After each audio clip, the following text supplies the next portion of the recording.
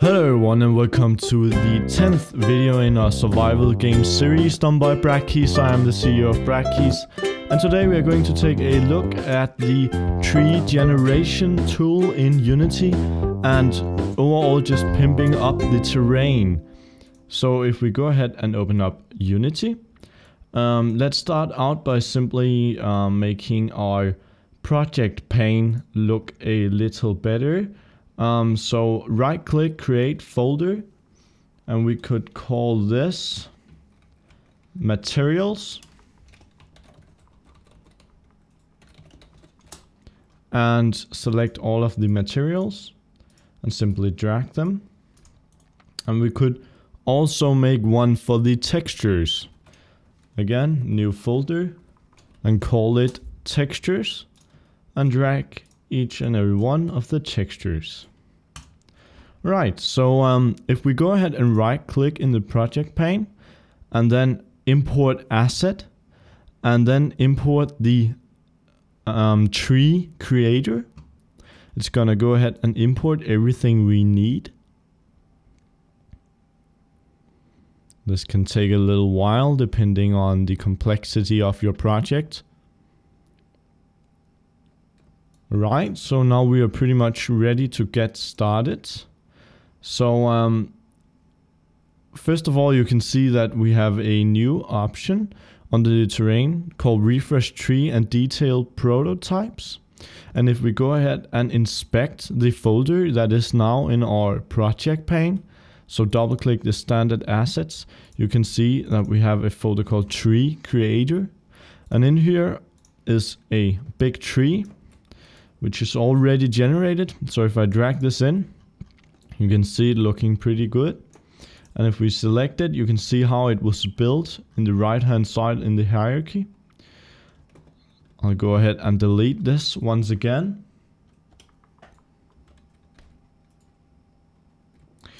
And um, if we go back into the tree creator, you can see our different sources, the materials, some leaves, and some textures.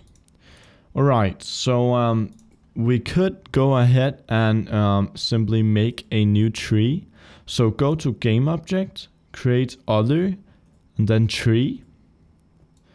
And now you can start to see all of the details we can change. All of the attributes that we can simply change inside of Unity and the tree will react in the scene. So if we go ahead and drag this out a bit and zoom in on it by selecting it in the scene view and hitting F. Um, so we get a good look. First of all, in the right hand side, in the inspector window, we have a slider called the tree seed. And you can see the value here is pretty huge. That's because this is simply um, the number that defines which kind of randomly generated tree we are going to use. So if I just drag this along, um, Unity is going to create all the different kinds of trees that can emerge from the randomized settings that we have set. So if I take the um, uh, if I mess with some of these settings, um, then this will also change. So this is simply the seed that is going to change once we create a lot of different trees. Alright, so um, you can go ahead and manipulate some of these settings. For now, I will leave them be. Um, the interesting parts come when we start to select the branch itself. So this is a branch group. Um, and here's the branch node itself. So if we select this and look over in the scene view, you can see this purple line going through the tree and these different squares on the way. The squares are waypoint for the um, generation of the tree. So simply these can be moved, these can be selected and dragged. So and um, by doing this we can create our own kind of shape. So you can simply manipulate these as you would with any other game object and we can create trees all on our own. So again we have a group seed, we have a frequency of how many trees are going to be spawned inside of the, if we select the other node, the tree root node, inside of the area spread so simply how many trees are going to be spawned inside of this variable. Um, so that's the frequency. And um, let's pump it up so we can get something uh, like a group of smaller branches. Um, the distribution, meaning how they are going to be planted um, whether it's going to be completely random, whether it's going to be on a straight line, um, if it's going to make cross, uh, a cross, or um, other kinds of shapes. So um, that is something, again, to play around with. The growth scale uh, simply is how long the different trees are going to get. The growth angle, as you can see, simply rotates the trees based on their lowest point, the little circle. Alright, so um, moving on, we can we have the geometry category. And if we crank up and down the LOD multiplier, see if I can get this working. Uh, not really. I guess this will do then. Um, you know what? Uh, let's leave this as is for now. Um, so let's go ahead and move on to the material. So here I have just loaded up some of the basic, uh, some of the materials in um, my scene, in my project pane. Um, let's try with the big tree branch. This comes with the tree generator and you can create some on your own or download some from the asset store. So as you can see, um, this creates a texture and a material and it is completely tileable so it will figure out the UVing itself. Um, so that's pretty handy. Um, the break material will uh, uh, ignore that for now. The length, the length of the branches um, without affecting the uh, max point. We have the relative length. So um, that uh, changes the way they scale. And if we just drag out some of the arrows, we can change how big uh, the difference between how big they can get. So that's simply simply the difference. Right, so remember all these settings are based on the fact that these are randomly generated. The radius, how wide are the trees gonna be? And the cap smoothing, how smooth?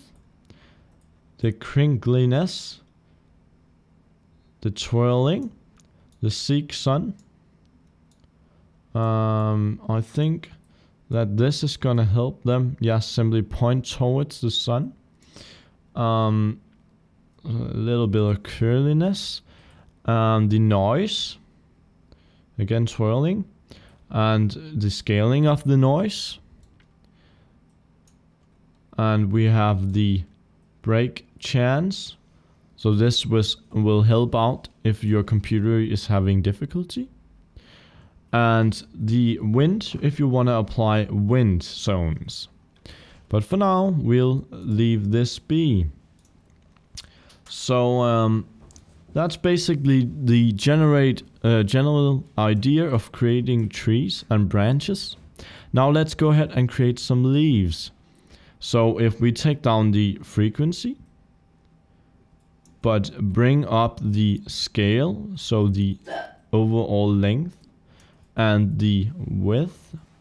Let me see the radius here. You can get some bigger trees that might have leaves. And if we go into uh, at the top of the hierarchy, you can create a leaf group. So just let the computer think for a minute.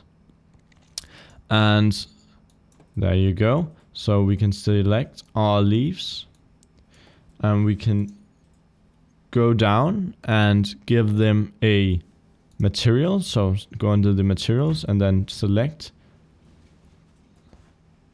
a leaf material.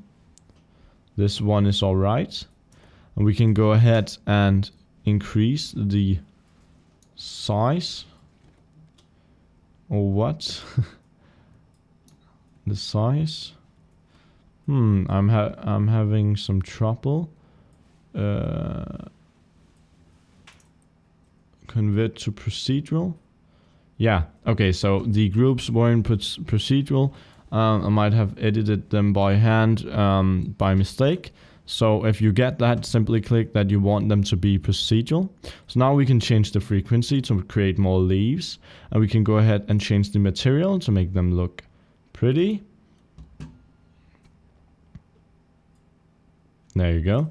And, um, okay, this will need some tweaking. Um, so if, again, all ha hand editing should not be. Um, we can distribute them just like the trees uh, in different ways. I'll just choose random though. And we can change the size of the leaves, the alignment, and the wind, the, the turbulence of the leaves. Alright. So that's how you create leaves. Um, so now, for now, I'll go ahead and delete these leaves once again by selecting them in the hierarchy and pressing the trash can.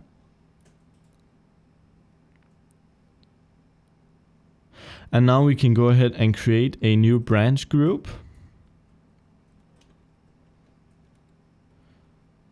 like this. So this allows us to create branches on the base of our tree. And we'll select again the branch, big tree branch material.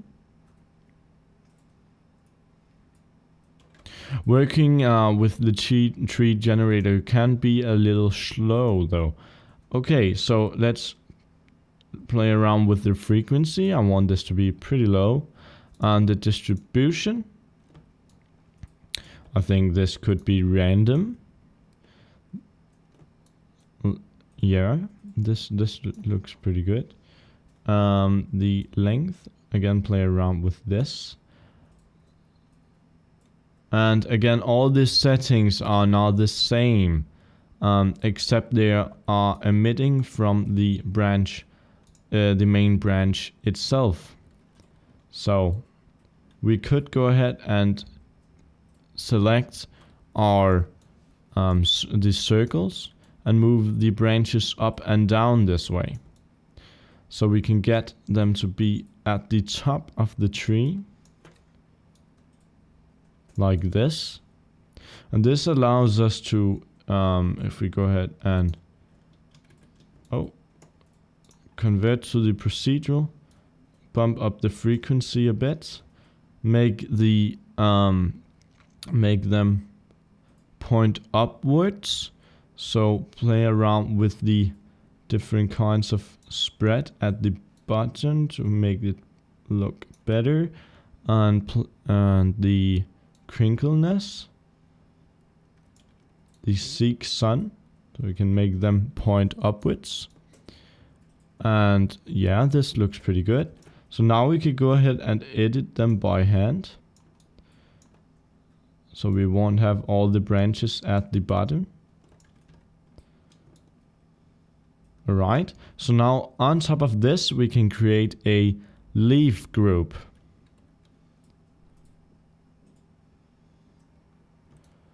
And now we can crank up the frequency quite a bit. Ch to change the material.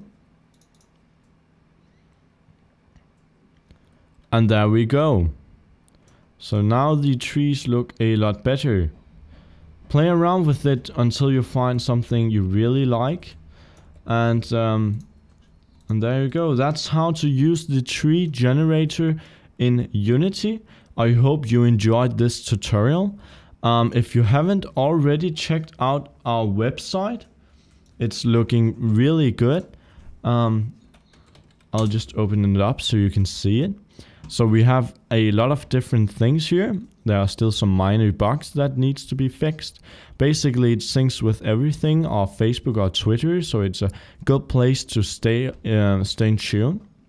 We, I have a blog going where I write about some of the news on our site and our learning network in general. Also, some of the news on our games.